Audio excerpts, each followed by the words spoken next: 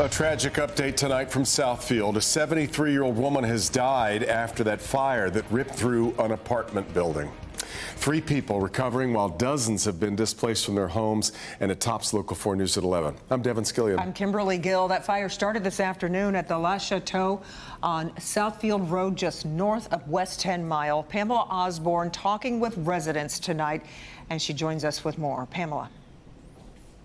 Kimberly and Devin, family and friends of that 73 year old woman, they actually approached us when we got here on scene asking if we had seen her. They stood by with displaced residents watching until firefighters were able to make their way inside of that apartment building where they unfortunately confirmed the worst. I passed my hallway and looked out the living room and I seen all this black smoke. Ivory Jackson rushed outside to get a better look. This is what he saw. I could feel the fire from the brick on the wall uh, at least 60 feet out towards the street. That's how heated it was up in there. Southfield firefighters were alerted to the fire around 2:15 p.m.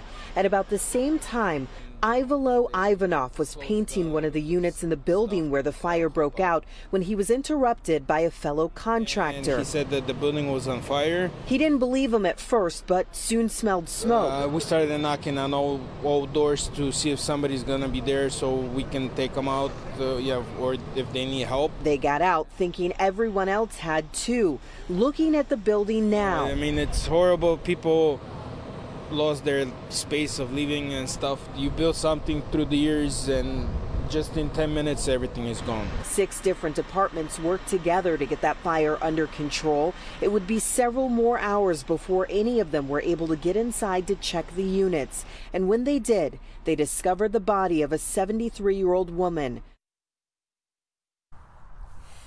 The apartment building is a total loss with 32 units impacted by these events today. Fire investigators are still working to determine a cause for the fire. For now, all they can say is that that fire started in a second story apartment unit. As for the injuries, two people were treated here on scene. A third was taken to the hospital with non life threatening injuries. We did speak with some people tonight who said that they will be staying with family in the meantime until all of this gets sorted out. But a cause for this fire remains under investigation at this hour. Reporting live in Southfield, I'm Pamela Osborne, Local 4. Okay, Pamela, thank you.